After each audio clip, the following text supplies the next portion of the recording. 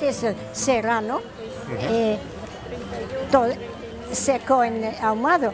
Es el de veras, el- la, morita de veras, ¿no? Que los chefs no saben. Sí, Por claro. ejemplo, una, una muy en particular y estamos muy cerca de acá es, este, es la mora. Sí, Aquí nosotros, le- aquí es- esta mora le llamamos mora chipocle. sí, claro. Eh, en San Martín, en Puebla, en Veracruz, hay un chipocle que es un poco más grande que se le llama chipocle navideño. Tal vez uno de los ingredientes principales de la comida mexicana son los chiles. Diana, a lo largo de sus viajes, siempre está muy dispuesta a recolectar los diferentes chiles que se usan en diferentes regiones de México, para experimentar con ellos en su cocina. Veamos algunos de sus comentarios. He visitado este mercado hace muchísimos años y nunca he visto esta cantidad eh, de, no, de este tipo, ¿no? ¿Sí? Ha aumentado mucho entonces el uso Ha aquí, aumentado ¿verdad? el consumo de este Sí. picante últimamente. Sí, muy bonito como usted arregla esto. Y este chile, es- ¿cómo se llama aquí? Chile de uña de picho. Uña de distrito es el árbol. chile de árbol. Está bien. Y aquí se siembra y se secan también. Se aquí. secan también. Ah, muy bien. ¿De qué pueblo viene? ¿De dónde viene este chile? se llama, A Chiltepín. Ajá, ¿dónde lo siembran? ¿Lo siembran o...? siembran por aquí cerca. Ah, sí. Muy bien, gracias. Chiltepín, ok. Muy bien. Un cuarto, por favor, señora. Sí. Aquí que tengo mi bolsa. Sí, claro. Reciclamos. Yo reciclo. En chile verde, cuando eh, el- la mora chica es verde, es este, serrano. Y sí, exacto. Y no saben la gente. Es- la morrita es Serrano, es serrano. Y, Sí, y la, sí, y la sí. mora grande es el cuaresmeño o Sí, jalapeño sí. en verde. Por eso es que se le llama mora y morita. Hay una diferencia en usos. ¿Para qué se usa esto? Ese es para la salsa y este es para el adobo, ¿Para el adobo Ajá. y esto? para el mole. Mole. Ok. Entonces ya hacemos Sí. salsa, adobo y mole. Ok. Perfecto. Oye, Diana, en tu libro tú consideras a los chiles como un pilar de la comida oaxaqueña. ¿Por Absolutamente. qué, Diana? Pero son tan importantes. Mira, cuando piensa que es lo menos 24 chiles que se dan o se cultivan en el estado de Oaxaca, la entidad de Oaxaca, que no se dan en otras partes y no se dan en otras partes. Entonces es tan importante. ¿Está mexicano o no? Mexicano. No está importado. No. El que puede ser importado es, es este. Este sí puede ser importado. Es chino. Ah, exactamente, el chile de árbol. Sí, Pero sí. este es, Es el local. normal, el de- Exactamente, tiene más sabor, ¿verdad? Sí, es tan pe- la gente no pide una cosa del país, por ejemplo. Me parece que es triste que están usando un chile que no tiene el mismo sabor. No, ese está muy bonito, pero el sabor no tiene Sí, nada. exactamente. El chile guajillo, el verdadero, no me refiero a lo que están importando y desgraciadamente de China. Lástima que no tengo, pero voy a tener para aclarar la diferencia. Se nota la diferencia. Están vendiendo en el mercado un chile de este, más o menos este, Más pequeño que el mexicano. bueno, es más triangular distinto y más claro y transparente. Están vendiendo este como chile guajillo, 10 pesos el, el kilo menos que eh, la idiota personas que no saben cocinar están usando. La gente cree que esto es guajillo y cambia el sabor. Sí, huele diferente. Sí. Y, y es Sí. muy, no tiene mucha consistencia. Como muy cuerudo. Y no tiene el sabor de este, el verdadero. Por ejemplo, el, el chile chino, lo, lo que le, lo que le va a soltar va a ser color. Sí, claro. Color, Sí. No más no sabor. No. El, el- el producto chino, por ejemplo, si usted ve un guajillo, discúlpeme, si usted ve un guajillo como este, que es un guajillo que es totalmente grueso, cuando usted lo muele es grueso. Y da, sí, da, da da sustancia sabor, a la da salsa. cal- este, Sí, da el sabor, sí. el color, todo. To- todo lo que lo que debe de ser este en este en un guajillo como debe de ser. El, el guajillo chino lo que hace que nomás le, da- le va a dar este color. Por sin Sí. embargo no le va a dar el mismo, este, el mismo picor, No. no. le va a dar este, el mismo sabor, ni mucho menos le- el espesor que debería de ser.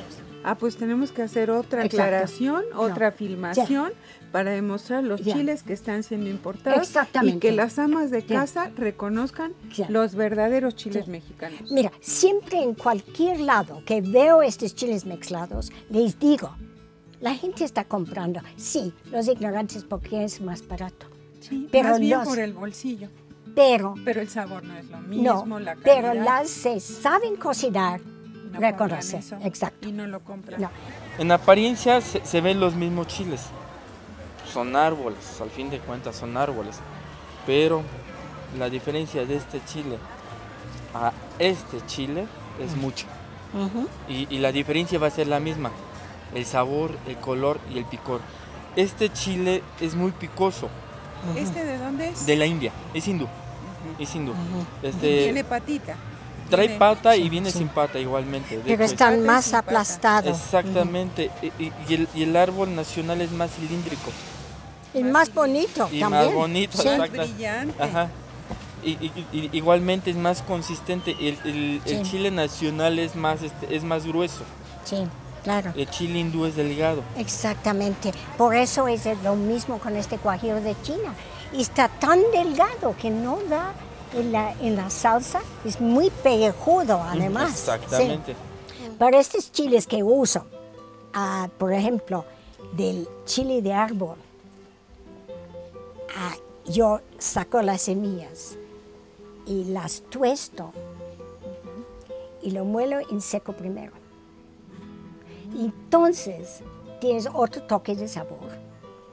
Y también, y muchas veces se, se muele con esto y, a, poco con la eh, jitomate después, eh, no se, se logre, ah, bueno, en molcajete sí, se logre eh, despedazar la, eh, la semilla. Pero si tú pones tostado en molida en seco, sí, esta no es tradicional, pero está sabrosísimo. El, el- el básico para, para la cocina este, Sí. y para las amas de casa es guajillo. Guajillo, Sí, sí. guajillo, perdón, guajillo del que, del que, pi- del que pica, que es este, el puya, que se le conoce como puya, este, y, y guajillo del que no pica, son los más básicos. De ahí, de ahí en fuera pues vienen los que es, este, Los anchos. eh, los anchos, los chiles anchos, vienen este, los, este, las pasillas, la mora chica y la mora grande y los árboles. Son, son, los, son los productos más básicos que, que hay dentro de la comida mexicana. El trío de chiles que mayormente va en un mole poblano son ok, mulato, ancho y pasilla. Entonces, este es mi chile favorito de todo el mundo. Maravilloso. Em, desgraciadamente, la semilla mejorada han hecho crecer demasiado el chile y ya está perdiendo Sí su se ve sabor. más grande que antes. Ya, es ridículo. ¿eh? Todos están. Los poblanos, todos están más grandes. ¿Tú, Diana, cuál te gusta más de estos dos? Bueno, según lo que estoy haciendo, si estoy haciendo un platillo del norte, lo uso esto, de Chihuahua o de por ahí en los estados del norte, Coahuila. De hecho, bueno, aquí, aquí, aquí en México lo, lo- lo vendemos como guajillo, pero su nombre, este, su nombre en sí es sí. guajón, se llama Sí. guajón. Y las recetas que tengo, especialmente en mi tercer libro, está en lo, lo esencial. Tiene recetas, estas recetas requieren este chile. Ah, también Sí, las recetas porque es el chile verde del norte seco. Tenemos que realmente los que quieren retener, y ya sabe que hay mucha propaganda para conservar la comida mexicana, hay que empezar a hablar con la gente con el labiote, porque no tiene el mismo sabor. Están grandadotes. Yo en mis primeros libros siempre he, he dado un tamaño regular. Ya no obedece esto. No obedece este tamaño. Están mucho más grandes. Y además yo he visto en algunas partes que están mezclando ya un mulato con el ancho. No, Antes había una diferencia considerable entre el mulato, que es menos producción, y el, el ancho. ¿verdad? Yo estaba siempre acostumbrada de distinguir por precio El mulato, el el mulato ancho. y el ancho. Si hay duda, hay que abrir y ver la diferencia, porque es muy difícil ver. Muy similares entre uno y otro. Ajá, y hay que ver solo un chocolate, color chocolate y un color, A ver, abrimos este. Sí, rojito. Ah, es que este es un rojo más oscuro, más intenso. Sí, Ajá. me voy a ver. Es este, mira, este tono chocolate, ¿ok? Sí. Ya, sí. Y este no. No, es otro este- tono Este va medio más rojo. Más rojo. Sí, ¿Y, de, y de es- sabor o de olor? Ya, te ve- bueno, no, A ver, Diana. yo no noto mucho, mucho No, sí huelen diferentes, Diana. ¿sí? Sí, sí. Es un, un olor un poco delicado, pero diferente. Bueno, Ya tú va a dar nariz mejor que yo. Sí, es- esto es el chile acorchado, ¿verdad? Ajá. Que es un ah, jalapeño acorchado. Y cuando se ahuman así, sale así. Sí, Como un, mecos. se pare- son, sí, parece tabaco, ¿no? Sí. Pero ¿por qué sale este color? Ah, está ahumado como los otros chiles, como el chipotle, mora, por ejemplo. Pero ¿cómo sale de este color? Eh, ¿Es otra manera de ahumar? No, no. El tipo de chile así es el Más sí, sí, rayado. Más rayado, exactamente. Entonces, como es más rayado, no deja ver este el, el color de chile. Si usted abre chile por en medio, Mm, el chile es rojo.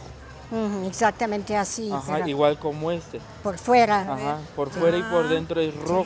Rojo igual que este. Ajá. Pero co- como está muy rayado, se, se hace café. Si usted nota en, en las rayas de- del chipocle, son del mismo color que de ese. Entonces lo, lo que pasa es que este chipocle es muy rayado. Sí, sí. Entonces cua- cuando se seca, pues lógico que, que le, gan- le, le- le gana la pigmentación de, de las rayas a, Acorchado, dice. Exactamente. Acorchado, sí. Y pensar, Diana, que todo esto es una sola especie biológica. Sí, sí, Capsicum anum. Es Sí, increíble sí. cómo el hombre ha seleccionado exactamente. diferentes características, Y no sabores. solo, no solo el hombre. La mujer. No, no, la- tierra, Ah. el clima. Sí, Sí. sí. Como tú sabes, en la Sierra Miji está, los caminos son horrendos. Con bueno, bueno, unas voladeras horrendas. Y para llegar a estos pueblos y ver esta cosa es muy difícil. Yo he ido cuatro veces, he tratado de ver cómo ahuman el Chile. Y Mm. por fin uno decide que, no, ellos no quieren ver. Es Una- una cosa, una cosa, que ellos sí. Claro que necesito una traductora porque no, no hablan español. ¿Español? No, en el mercado es muy interesante. Vienen a los mercados de México y se venden por tamaño. Y el precio es por 100 grandes un precio, es casi 3 pesos cada chile. El medianito, el mediano, lo usan poner en, um, muchas veces en escabeche, en que son muy riquísimos. Y los más chiquitos en salsa, con tomate verde. Es el pico de pájaro. Y es, hemos acabado de ver el verde, ya es el- la temporada del verde. Y luego se seca en el sol, señora. Sí, Sí. En cambio, este es a humo, ¿verdad? sí. Sí.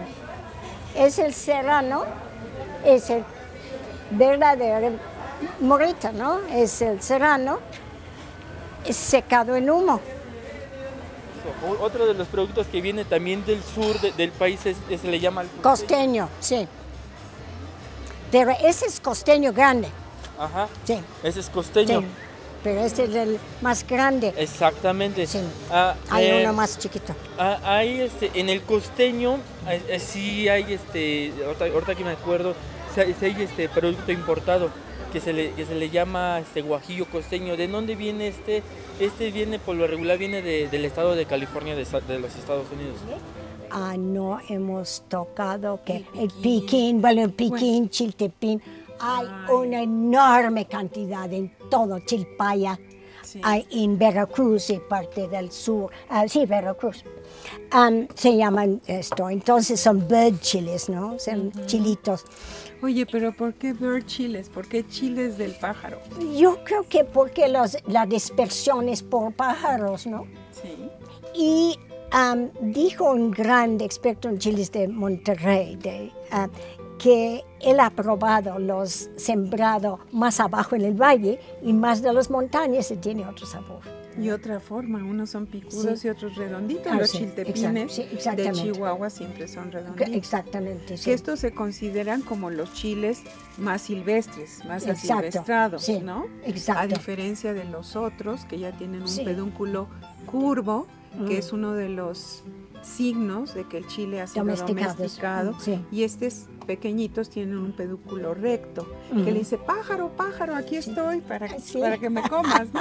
Qué bonito, sí. Ajá. Sí, así son, redondos o así, pero este, mayormente, mayores son de aquí. Bueno, de, también en Sonora los redonditos se usan. Sí, los chiltepines.